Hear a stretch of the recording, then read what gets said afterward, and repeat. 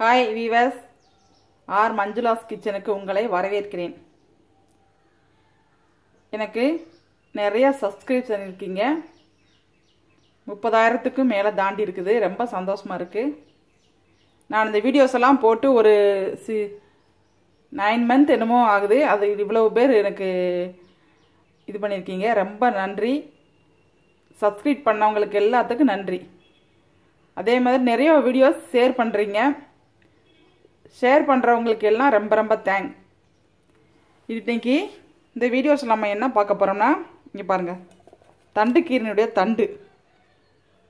இது நல்லா எல்லாம் தூரில் இருந்து பார்க்கறதுக்கு தடியாக இருக்குது பாருங்கள் தூரில் இருந்து கூடமும் எல்லாமே பிஞ்சு தண்டாக இருக்குது. நல்லா விளைஞ்சது. வீட்டிலையே விளைஞ்சதுங்கிறனால நல்லா ஃப்ரெஷ்ஷாக இருக்குது இப்போ தான் ஆஞ்சிட்டு எடுத்து வச்சுருக்கேன் பாருங்கள் பார்த்தீங்களா நல்லா தண்டு நல்லா ஃப்ரெஷ்ஷாக இருக்குது. இது இதுக்கு தேவையான இன்க்ரீடியன்ஸ் என்னென்னு பார்ப்போம் இது வந்து கூட்டு குழம்பு வைக்க போகிறேன் அதுக்காக நான் பாருங்கள் பாசிப்பயிறு. ஒரு கப் பாசிப்பயிரை நான் நல்லா கழுவிட்டு நல்லா சுத்தமாக அலம்பிட்டு ஊற வச்சுருக்கிறேன். இதுக்கு தேவையான கொஞ்சம் சின்ன வெங்காயம் ஒரு பெரிய வெங்காயம். ஒரு பெரிய வெங்காயத்தை நம்ம தாளிச்சிக்கலாம். சின்ன வெங்காயத்தை அப்படியே போட்டு வேக வச்சுக்கலாம். அப்புறம் ஒரு ரெண்டு மூணு தக்காளி நல்லா பழுத்த தக்காளியாக எடுத்துக்கோங்க. அப்போ தான் நம்ம வந்து கூட்டில் போடும் பொழுது இது கலர்ஃபுல்லாக இருக்கும். இது முழுசாகவே நான் இப்படி என்ன செய்வேன்? இப்படி வேக விட்டுருவேன். வேக விட்டுட்டு அந்த தோல் தனியாக வந்துருப்பாங்க தோலை தோலை எடுத்துட்டு நம்ம அப்படி கடைஞ்சி விட்டோம்னா அங்கங்கே ரெட்டிஷாக நல்லா ஒரு ஷேடாக தெரியும். பார்க்குறதுக்கு நல்லா அழகாக இருக்கும். அதே மாதிரி இங்கே பாருங்கள் பச்சை மிளகா. உங்களுக்கு காரத்துக்கு பச்சை மிளகா வேணும்னு சொன்னால் பச்சை மிளகா எடுத்துக்கோங்க. இல்லாட்டி காஞ்ச மிளகா இருந்தாலும் எடுத்துக்கோங்க. வத்தல்னு சொல்லும் பார்த்தீங்களா அது இருந்தாலும் எடுத்துக்கோங்க. அஞ்சரை பெட்டி கொஞ்சம் தேங்காய். இப்போ இந்த இன்க்ரீடியன்ஸுக்கு வந்து முதல்ல என்ன பேஸ்ட் அரைக்கிறதுனா நம்ம எப்பயுமே கூட்டுக்கு அரைப்போம்ல அதே தான் தேங்காய் பச்சை மிளகா கொஞ்சம் ஜீரகம் போட்டு அரைச்சி வச்சுக்கலாம். வச்சுட்டு நம்ம இந்த துவரம் பருப்பு இது சாரி பாசிப்பருப்பு இந்த தக்காளி கொஞ்சம் வெங்காயம் இதில் ரெண்டு பச்சை மிளகா அதை அரைச்சிக்கலாம். இந்த ரெண்டு பச்சை மிளகா கீரி போட்டு தண்டையும் நல்லா நம்ம இது பண்ணி போட்டுட்டு குக்கரில் ஒரு ரெண்டு விசில் வச்சோம்னா தண்டும் இதுவும் நல்லா வெந்துடும் மையாக வெந்துடும் தண்டு கூட நம்மளுக்கு சில நேரம் குழஞ்சிருச்சுன்னா கூட அது தண்டு இருக்கிறது கூட தெரியாது. அந்த மாதிரி க்ரீனாக மட்டும் தெரியும். அதுக்கப்புறம் நம்ம இந்த கூட்டை அரைச்சி ஊற்றி இது பண்ணிக்கலாம். இப்போ இது நான் ஃபஸ்ட்டு இது வேக போடுறேன். பார்த்துக்கோங்க எப்படி பண்ணுறேன்னு பார்ப்போம். இப்போ பாருங்கள் ஒரு குக்கர் வச்சுருக்கிறேன் நான். குக்கரில் கொஞ்சம் எண்ணெய் ஊற்றிருக்கிறேன் நல்லெண்ணெய் ஊற்றிருக்கிறேன் இதில் ரெண்டு வெள்ளைப்பூடு பார்த்தீங்களா வெள்ளைப்பூடை தட்டி போட்டிருக்கேன். ரெண்டு மிளகாய்.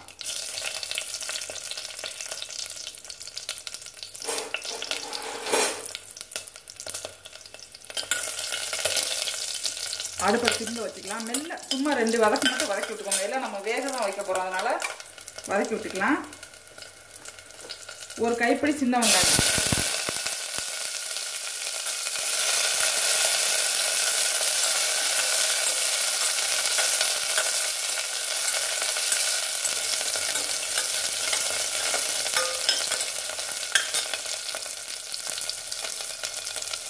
இந்த மூணு தக்காளி அப்படியே போட்டுடலாம்.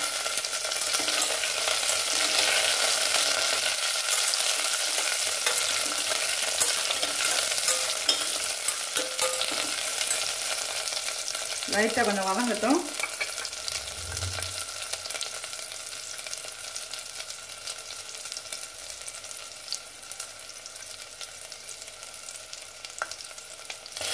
இதில் கொஞ்சோண்டு சீரகம் போடலாம்.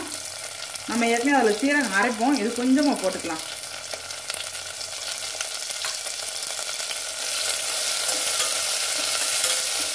இப்போ இந்த பருப்பை ஊற்றிடலாம்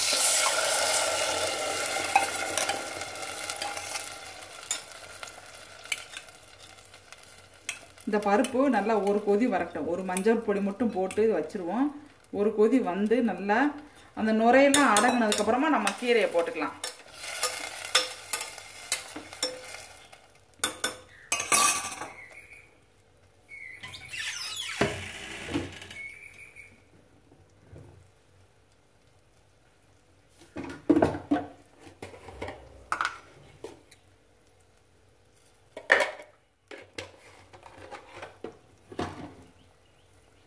கொஞ்சம் பெருங்காயத்தூள்.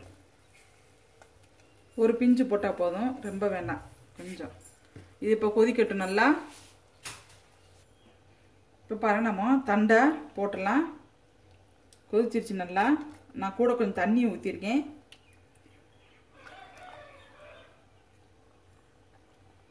சில பேர் பருப்பை வேக வச்சு எடுத்துக்கிட்டு அதுக்கப்புறம் தண்டு தனியாக வேக போட்டு இது பண்ணுவாங்க. நான் ரெண்டும் ஒன்றாவே வச்சிடுறேன். ஏன்னா பாசி பருப்பும் ஈஸியாக வேகக்கூடியது தான் தண்டு லேசாக வே வதக்குறாலேயும் அப்படியே வெந்துடும் அந்த அந்த அளவுக்கு தான் அதில் நல்லா சாஃப்ட்னஸ் இருக்கும்.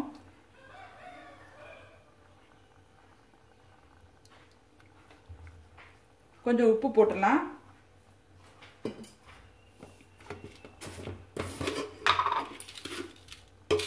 ஏன்னா தண்டு இருக்கிறதுனால நம்ம லாஸ்ட்டாக உப்பு போட்டோம்னு சொன்னால் தண்டுக்குள்ளே பிடிக்காது. அதனால் இப்பயே உப்பு போட்டுடலாம். வெந்துடும் குக்கருங்கிறதுனால ஒன்றும் வேகாமலாம் இருக்காது. வெந்துடும் ஈஸியாக இப்போ இது கொதிக்கவும் நம்ம இதை மூடி வச்சிடலாம். இப்போ பாருங்கள் நம்மளுக்கு ரெண்டுமே நல்லா வெந்து வந்துருச்சு பாருங்கள் இதில் இந்த பாருங்கள் தக்காளி இருக்கு பார்த்தீங்களா இதை இப்படி எடுத்தோம்னா அதனுடைய தோல் மட்டும் தனியாக வந்துடும் நம்மளுக்கு. இந்த பார்த்தீங்களா இந்த தோல் தனியாக வந்துடும் இது நம்ம தனியாக எடுத்துடலாம்.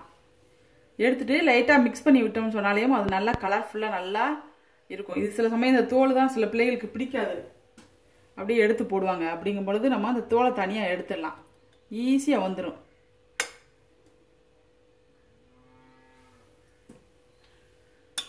இப்போ இதை நம்ம லைட்டாக ஒரு கிண்டி விட்டுடலாம். நல்லா வந்துருச்சு பார்த்தீங்களா நம்மளுக்கு தக்காளி இங்கே வருங்க தக்காளி பார்க்கவே நல்லா கலர்ஃபுல்லாக இருக்கும். அந்த க்ரீன் கலருக்கும் அதுக்கும் நல்லா இருக்கும். சூப்பராக இருக்கும். இப்போ இது வந்து நம்ம சாப்பாட்டுக்கு ஊற்றி சாப்பிட்றதுனால நான் பருப்பு வந்து ஒரு கப்பு கூட கொஞ்சம் போட்டிருக்கேன். நீங்கள் கூட்டு மாதிரி வச்சு வைக்கணும்னு நினச்சிங்கன்னு சொன்னால் பாசி பருப்பு கம்மியாக போட்டுக்கோங்க. ஓகேயா இப்போ நம்ம அரைச்சி வச்சுருக்கோம் பார்த்தீங்களா இந்த மசாலாவை பூரா இதில் போட்டுடலாம். தேங்காய் மிளகாய் சீரகம் போட்டு அரைச்சிருக்கிறோம். சில பேர் கூட்டுக்கு சோம்பு போட்டு அரைப்பாங்க. உங்களுக்கு என்ன விருப்பமோ அதை போட்டு அரைச்சிக்கலாம். நான் அந்த மெத்தேடு மட்டும்தான் உங்களுக்கு சொல்கிறேன் நீங்கள் எப்படி கூட்டு வைப்பீங்களோ அதை வச்சுக்கலாம். சில பேர் இந்த கீரையெல்லாம் தண்டெல்லாம் என்ன செய்யுதுனே தெரியாதவங்கெல்லாம் நிறைய பேர் இருக்கிறாங்க. அவங்களுக்கு எல்லாம் இந்த வீடியோ சமர்ப்பணம். பாருங்க நம்ம இது நல்லா இது கொஞ்சம் தண்ணி விட்டு நல்லா மிக்ஸ் பண்ணி இதில் ஊற்றிக்கலாம் பாருங்க நம்ம ஊற்றிட்டேன் இது நல்லா ஒரு கொதி வரும் உப்பு பார்த்துக்கலாம் உப்பு பார்த்துட்டு நம்ம இது தாளிச்சு விட்டுடலாம். ஓகேயா அது கொஞ்சம் ஒரு சின்ன தோல் இருக்க மாதிரி இருக்குது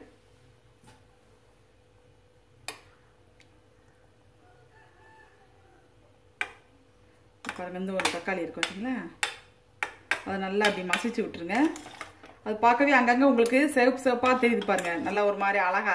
நம்ம தக்காளி போட்ட மாதிரியே தெரியாது. என்னமோ ஒரு மாதிரி அது நல்லா வித்தியாசமாக தெரியும். இப்போ இது நான் பார்த்தீங்களா கூட்டு குழம்பு இப்போ நம்மளுக்கு ரெடியாக போகுது. இது நான் இன்னொரு இந்த பக்கம் ஒரு கடாயில் வச்சு தாளிச்சு ஊற்றிடுறேன் வெறும் நல்லெண்ணெய் ஊற்றி எப்பையும் போல் வத்தல் கடுகு சீரகம் பெருங்காயம் போட்டு தாளிச்சு ஊற்றிடலாம் இது நல்லா ஒரு கொதி வரட்டும். இப்போ பாருங்கள் நான் தாளிச்சு ஊற்றிட்டேன் பாருங்கள் நம்ம ஒரு பெரிய வெங்காயம் வச்சுருந்தோம் பார்த்தீங்களா அந்த வெங்காயத்தையும் சேர்த்து போட்டு நல்லா கட் பண்ணி போட்டு சேர்த்து தாளித்து ஊற்றிட்டேன் இப்போ நம்மளுக்கு தண்டுக்கீரை கூட்டு குழம்பு ரெடி ஆயிடுச்சு. பார்த்தீங்களா நல்லா சூப்பராக கலர்ஃபுல்லாக நல்லா பார்க்கவே அழகாக இருக்குது பாருங்கள் இந்த வீடியோஸ் நீங்கள் ஃபுல்லாக பாருங்கள் நான் போடுற வீடியோஸ் உங்களுக்கு பிடிச்சிருந்ததுன்னா திருப்தியாக இருந்தால் சப்ஸ்கிரைப் பண்ணிடுங்க உங்கள் ஃப்ரெண்ட்ஸுகளுக்கெல்லாம் ஷேர் பண்ணிவிடுங்க. கமெண்ட் பண்ணுங்கள் லைக் பண்ணிடுங்க தேங்க்யூ பாய்